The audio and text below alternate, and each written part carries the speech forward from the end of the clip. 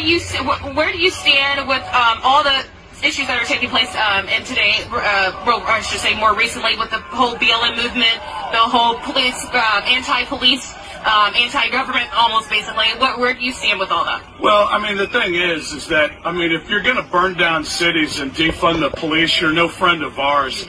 I mean, these people are the same people that rigged an election, rigged an investigation, and rigged an impeachment process against the American people, and they lost all three. I mean, they voted for a guy named Obama not once, but twice, and he stole everything. That's why they were down on Epstein Island raping and eating those babies down there. Just look at the flight logs. They all knew who he was, what he did, where he did it. That's why they got on his plane to fly down there and do it with them. That's that's what the real problem is.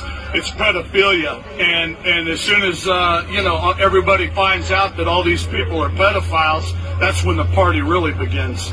Yes, we got to expose them for who they really are and right. show people, give people the truth instead of continuing. Five thousand dollars worth of hot dogs. Please explain that to me. It's in their own emails. Well, well thank you for sharing that. Thank you for sharing that. I had one question for you. Yeah. Why do you choose today not to wear a mask? Well, the reason why I don't wear a mask is because it's not easy being a trendsetter.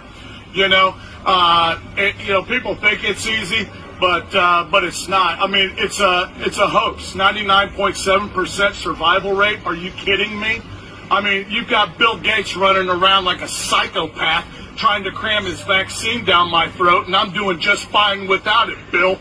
Didn't you go down to Epstein Island yourself? I, you know, Epstein and Weinstein just doesn't sound like a Presbyterian problem to us. Well, thank you for sharing that. But of course, that does not go against basic safety procedures that we should be doing at, at, at, a daily basis, on a daily basis, washing your hands, staying at, at least so far away as possible. Yeah, I'd make out with you. well, and, and uh, Stephen, it was so great talking with you, and thank you so much for your time. You. do you have anything else you want to say, maybe to other Trump supporters or one who can't be out here? Absolutely. Stars and bars, red, white, and blue home team, man. It's Trump 2020. They're throwing an octogenarian at us, struggling with dementia, trying to hide liquor on his breath, dealing with a son who just got a stripper pregnant down in Arkansas, cheating on his dead brother's wife. Thank you, thank you, thank you. Thank you so much for your time. You have a blessed day.